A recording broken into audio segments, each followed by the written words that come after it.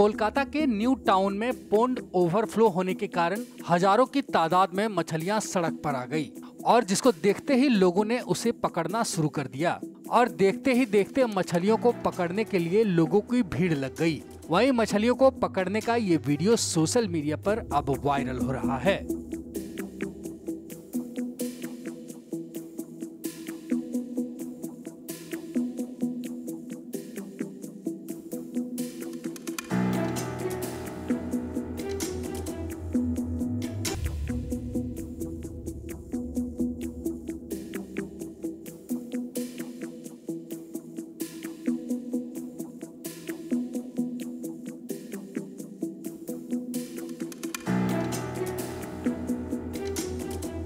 देश और दुनिया की ताज़ा खबरों के लिए कोबरा पोस्ट हिंदी को सब्सक्राइब करें और अलर्ट्स के लिए बेल आइकन पर क्लिक करें। और हाँ दोस्तों, साथ ही हमारे वीडियोस को लाइक और शेयर करना ना भूलिए।